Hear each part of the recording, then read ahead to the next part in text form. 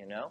Well, what kind of a polymathic talent was Edward Kelly that he could invert whole pages of Latin and reel it off and then have it be reconstructed and make sense?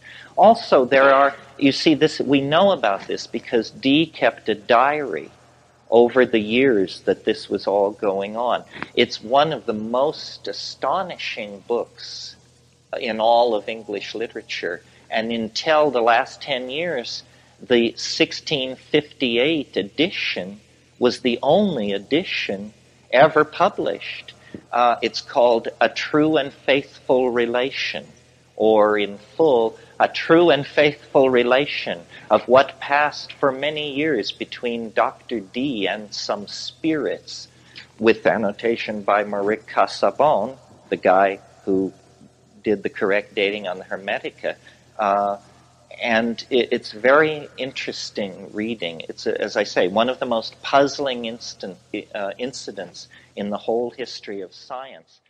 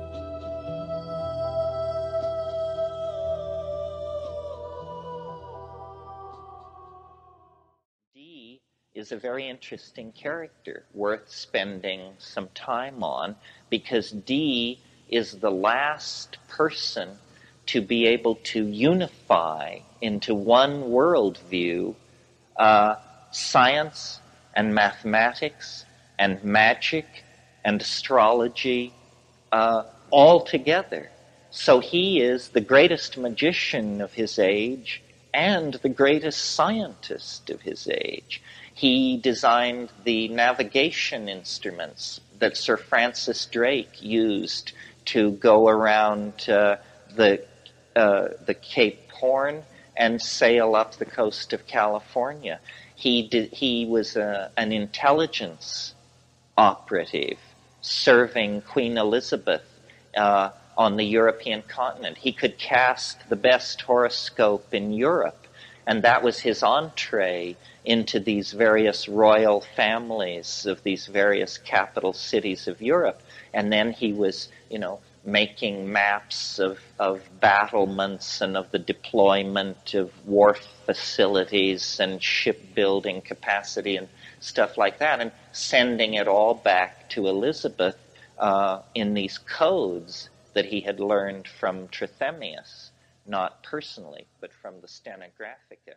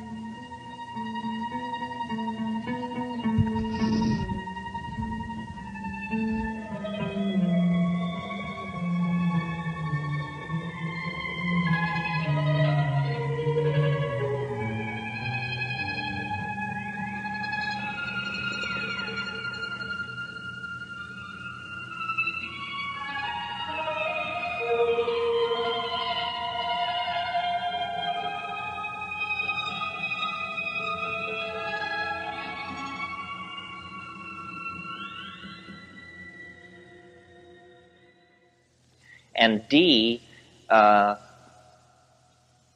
a very strange incident happened, which was uh, on a cold day in April at his house in Mortlake, which is on the outskirts of London. Now it's completely surrounded by modern London. Uh, I should say he had he had the largest library in England. He had six thousand books. Sir Philip Sidney and the Queen would occasionally call upon him to shoot the bull, and uh, he he was a very learned man. So one day in April of 1582, he's working at his desk at his room in Mortlake, and he goes outside. He's, there's some disturbance in the garden, and he goes outside. And his story, and we have only his story, is that an angel descended in a ball of light and gave him an object which is uh, to this day on exhibit in the British Museum. Uh, if you ever have a chance, it's worth hunting it down. It's in the Renaissance Hall, and it's uh, it's a piece of black polished obsidian, uh, roughly about this big and about that thick, and very highly polished. It, he called it the Shew Stone, S H E W, and it, what the deal was was you could look into the Shew Stone if you had the right talent, and you it was a magical theater. There were gods and demons and uh, female spirits and all kinds of things swirling around this thing. Well, for the next uh, many years, the Shew Stone was the major guiding force on Dee's life.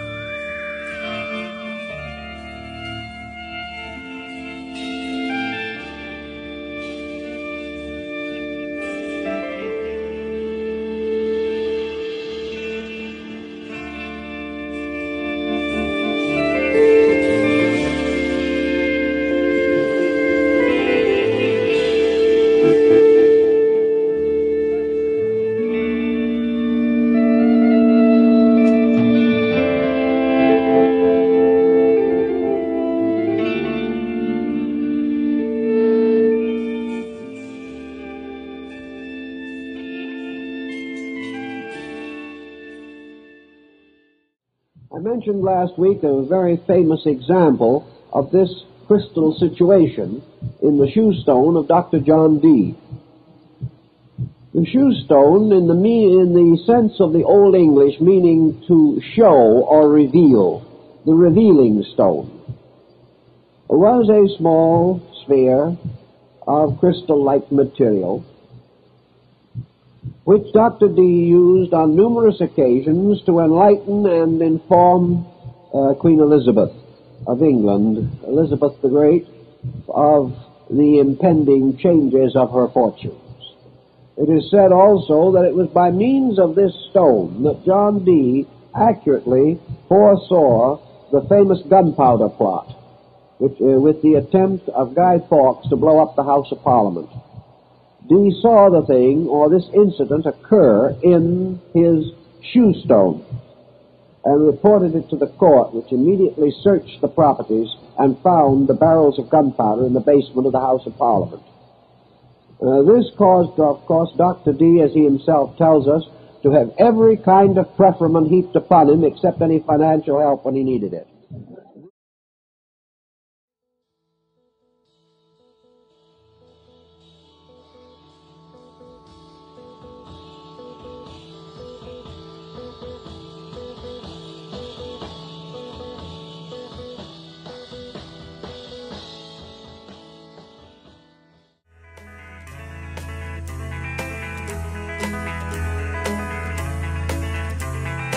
John V, your headache's growing, the cold wind's blowing, but the sea's without a ripple. John V, your forehead's damp, your muscles cramped, and the sea can't use a cripple.